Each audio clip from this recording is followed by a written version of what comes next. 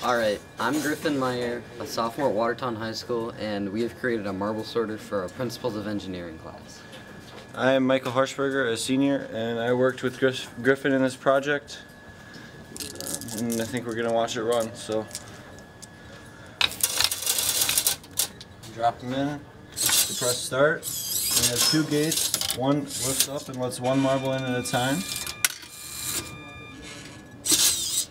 Then once that marble is dropped down, it's stopped by a third gate, which is sensed by a light sensor. And when that happens, the marble or the swing arm will swing and take it to the correct bucket. And we got these values using a sonar sensor here. Which allows us to know where the arm is in correspondence to where each is. What was uh, difficult about this project? Um, I would say that it was probably getting the arm to go to each bucket properly and not overgoing each bucket or not stopping short. So, And what was pretty easy, in your opinion? um, probably designing a funnel.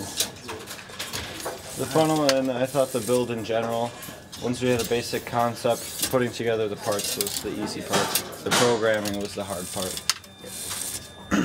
Congratulations, guys.